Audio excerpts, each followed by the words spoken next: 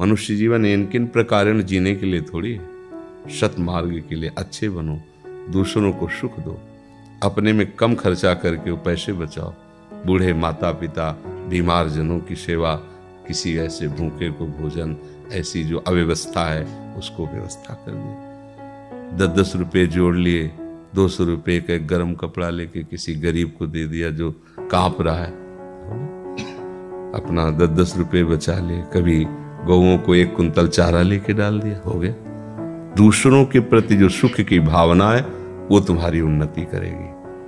दूसरों को जो दुख देने की भावना है, तुम्हारा नाश कर देगी। उसको दुख पहुँचे, न पहुँचे, तुम्हारा पतन हो जाएगा।